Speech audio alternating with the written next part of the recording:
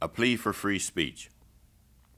Boston is a great city, and Music Hall has a fame almost as extensive as Boston. Nowhere more than here have the principles of human freedom been expounded. But for the circumstances already mentioned, it would seem almost presumptuous for me to say anything here about those principles. And yet, even here in Boston, the moral atmosphere is dark and heavy. The principles of human liberty, even if correctly apprehended, find but limited support in this hour of trial. The world moves slowly, and Boston is much like the world. We thought the principle of free speech was an accomplished fact. Here, if nowhere else, we thought, the right of the people to assemble and to express their opinion was secure. Dr. Channing had defended the right. Mr. Garrison had practically asserted the right, and Theodore Parker had maintained it with steadiness and fidelity to the last. But here we are today, contending for what we thought was gained years ago. The mortifying and disgraceful fact stares us in the face that though Faneuil Hall and Bunker Hill Monument stand, freedom of speech is struck down. No lengthy detail of facts is needed. They are already notorious, far more so than will be wished ten years hence. The world knows that last Monday, a meeting assembled to discuss the question how shall slavery be abolished. The world also knows that that meeting was invaded, insulted, captured by a mob of gentlemen, and thereafter broken up and dispersed by the order of the mayor, who refused to protect it, though called upon to do so.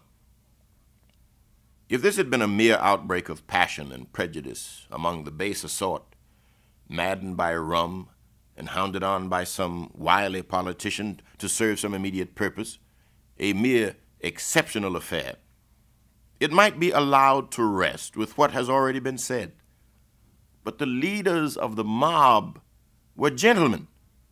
They were men who pride themselves upon their respect for law and order. These gentlemen brought their respect for the law with them and proclaimed it loudly while in the very act of breaking the law. Theirs was the law of slavery. The law of free speech and the law for the protection of public meetings they trampled underfoot, while they greatly magnified the law of slavery. The scene was an instructive one. Men seldom see such a blending of the gentleman with the rowdy as was shown on that occasion. It proved that human nature is very much the same whether in tarpaulin or broadcloth. Nevertheless, when gentlemen approach us in the character of lawless and abandoned loafers, assuming for the moment their manners and tempers, they have themselves to blame if they are estimated below their quality. No right was deemed by the fathers of the government more sacred than the right of speech. It was, in their eyes, as in the eyes of all thoughtful men, the great moral renovator of society and government. Daniel Webster called it a homebred right, a fireside privilege. Liberty was meaningless where the right to utter one's thoughts and opinions had ceased to exist. That of all rights is the dread of tyrants. It is the right which they first of all strike down. They know its power. Thrones, dominions, principalities, and powers founded in injustice and wrong are sure to tremble if men are allowed to reason of righteousness, temperance, and of a judgment to come in their presence. Slavery cannot tolerate free speech. Five years of its exercise would banish the auction block and break every chain in the South. They will have none of it there, for they have the power. But shall it be so here? Even here in Boston, and among the friends of freedom, we hear two voices. One denouncing the mob that broke up our meeting on Monday as a base and cowardly outrage, and another deprecating and regretting the holding of such a meeting by such men at such a time. We are told that the meeting was ill timed and the parties to it unwise. Why, what is the matter with us? Are we going to palliate and excuse a palpable and flagrant outrage on the right of free speech by implying that only a particular description of persons should exercise that right?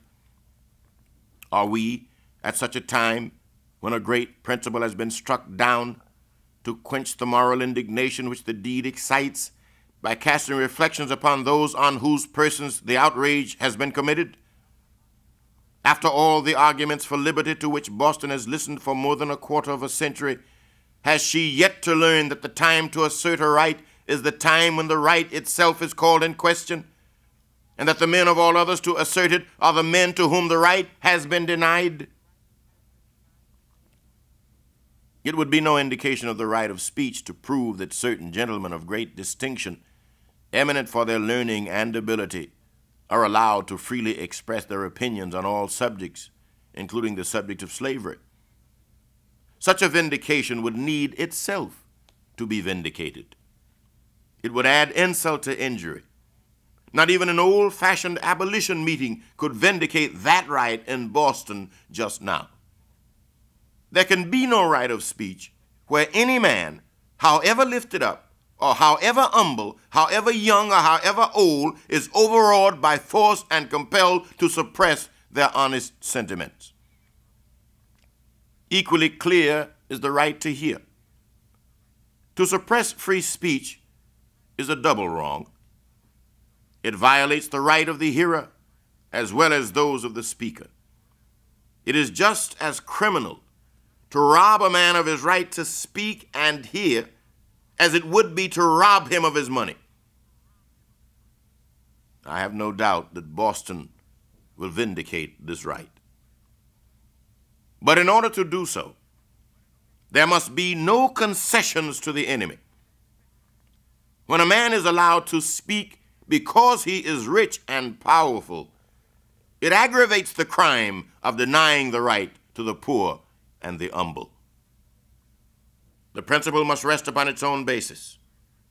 And until the right is accorded to the humblest as freely as to the most exalted citizen, the government of Boston is but an empty name and its freedom a mockery. A man's right to speak does not depend upon where he was born or upon his color. The simple quality of manhood is the solid basis of the right, and there let it rest forever.